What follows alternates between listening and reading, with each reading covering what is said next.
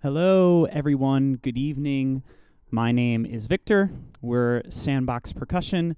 Uh, we're thrilled to be presenting this live stream concert for you this evening from our studio right here in Brooklyn.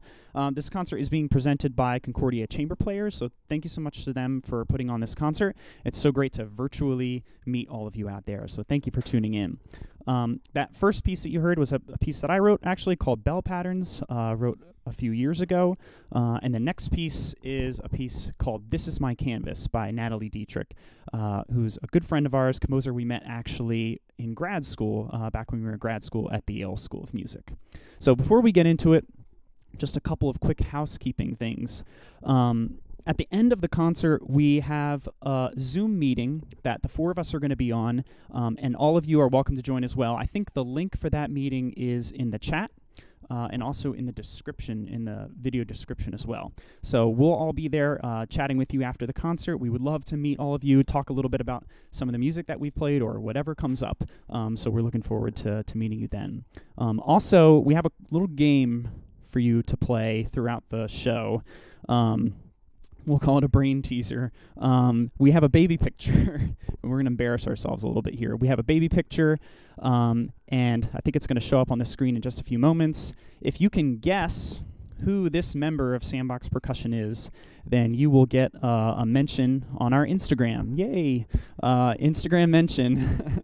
so if you can guess who that person is, we'll we'll let you know at the end of the show uh, who that member of Sandbox Percussion is.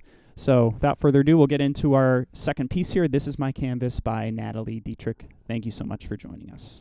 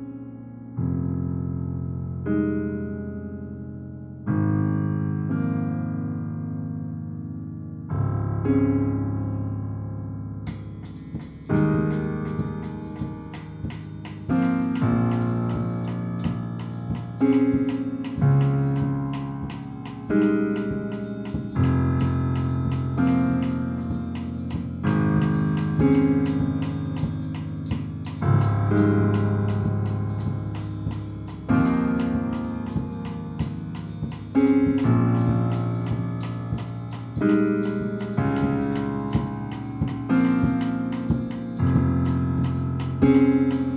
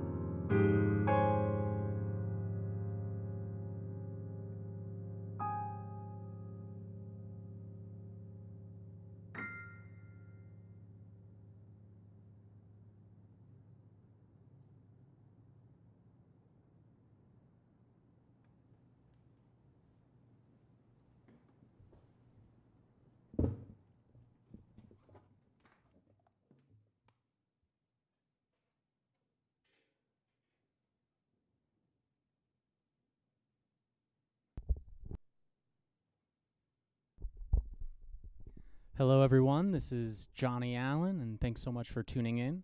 Uh, I will be introducing the next pair of pieces, actually. Um, the first one is uh, almost strangely a piece by Johann Sebastian Bach. And I think he's the only deceased composer on this program all evening. Uh, not not your typical classical concert, I guess. Um, but uh, but the piece we'll be playing is is a movement, the Largo, uh, the slow movement from uh, his fifth concerto for piano and orchestra uh, in F minor.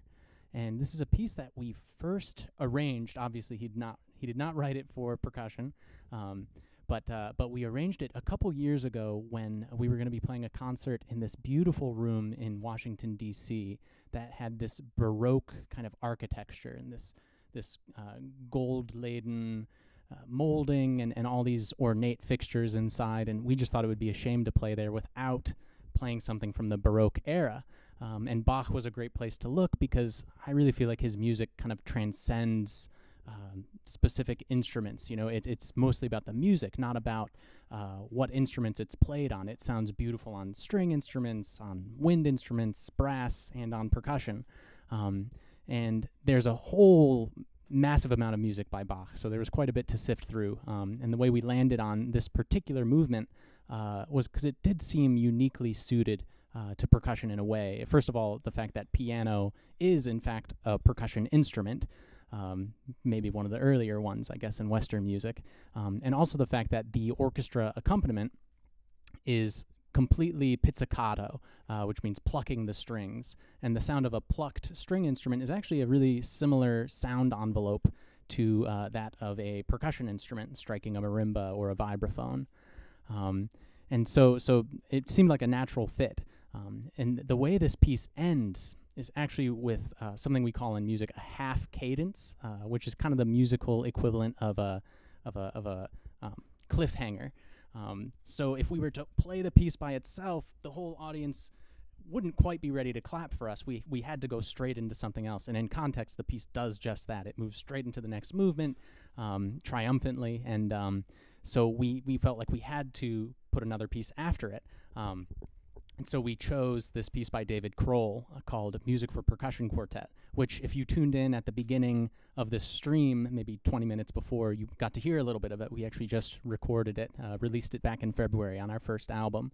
Um, and this has been one of our, our favorite pieces. Um, and it matches with the Bach in the sense that uh, the instrumentation is similar. Uh, it's for vibraphones and marimbas.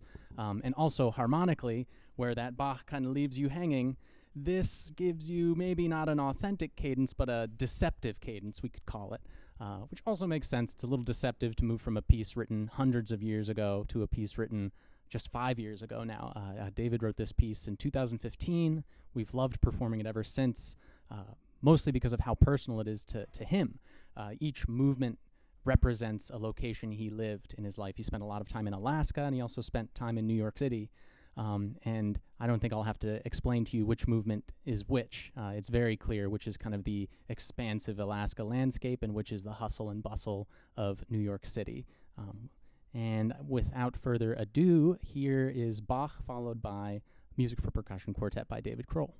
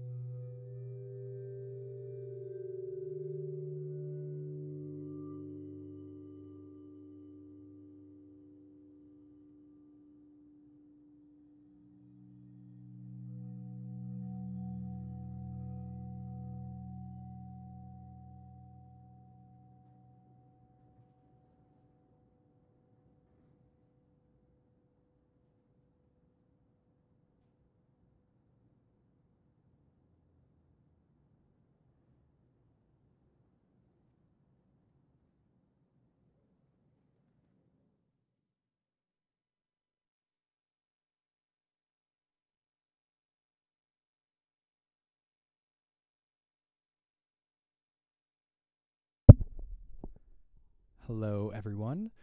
My name is Terry. Uh, I'm here to introduce the next piece, uh, which is actually a world premiere. This is Pillar 6 by the composer Andy Akiho. You've probably heard a little bit about this piece if you caught any of our past live streams. You've heard about Seven Pillars. Uh, that's a much larger project, and this is the world premiere of one of those movements. Uh, so Andy or Sandbox was actually just uh, at a two-week-long residency at PS21 in Chatham, New York, where we were recording and editing and kind of getting the mixing started for the commercial album for uh, all of Seven Pillars. Uh, that is set to be released sometime in the spring of 2021, so keep an eye out for that. In the meantime, you'll have to put up with us releasing or giving you a sneak peek of these movements kind of one at a time. I know we've done a couple of them on these live streams before. Um, really quickly, I saw a chat in the live stream earlier. Someone asking if it was too early for a cocktail, and I think that we in Sandbox think it's never too early for our specialty cocktail. I hope some of you are enjoying that. Um, I also know that there is a guessing game happening uh, with a baby picture of one of us. So uh, while you're thinking hard about which baby, which of us that baby is, here comes Andy Akiho's Pillar Six. Thanks.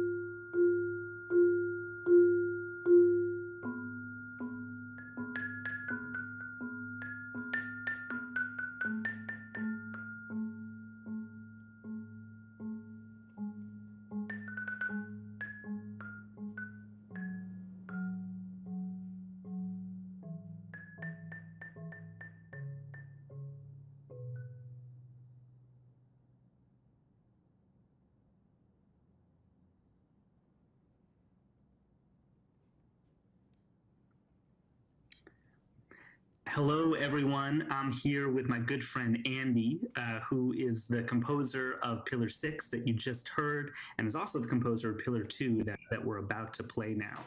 Um, now, I know that some of you in the audience were probably at the concert that Andy and I played at Cradle Valley back in January.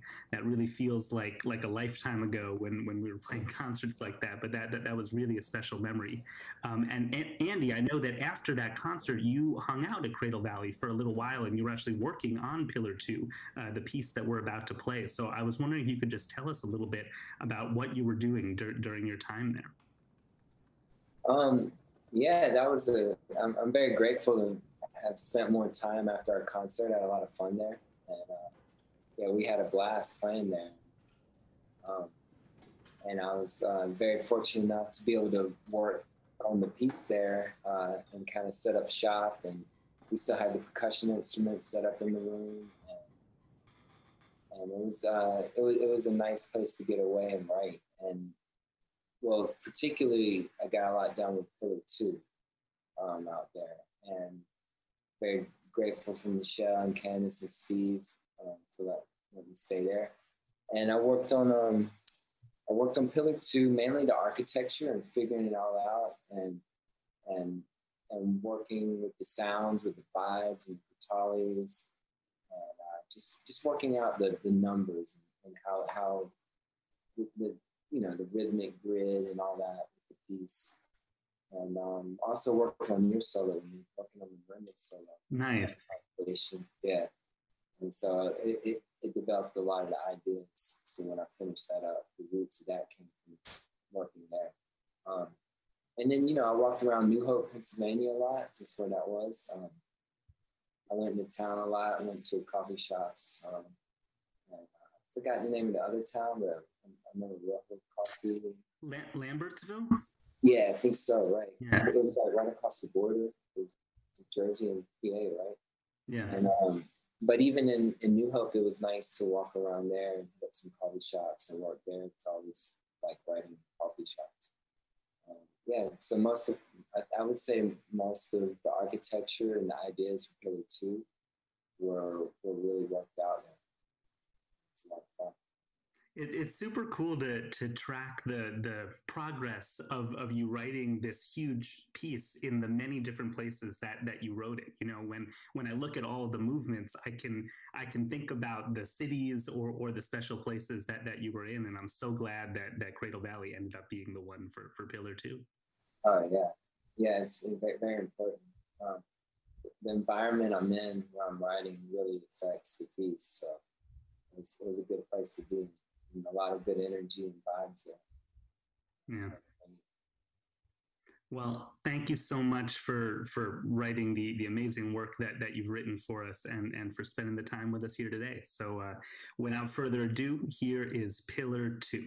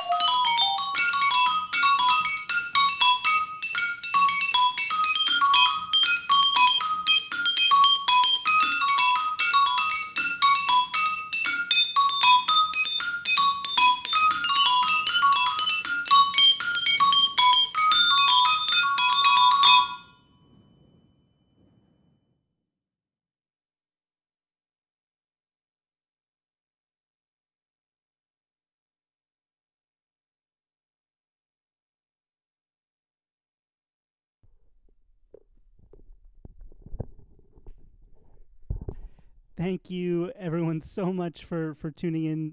Uh, we we had such a great time playing, uh, and thank you so much to to Concordia, everyone at Concordia that worked with us uh, for the past several weeks to to make this event great. Thank you all so much. Um, so th- there is that Zoom hangout right after the concert. I think the link is hopefully in the chat or in the description, or you can get it on the Concordia website. Please come and say hello. We we would love to to share a cocktail with you.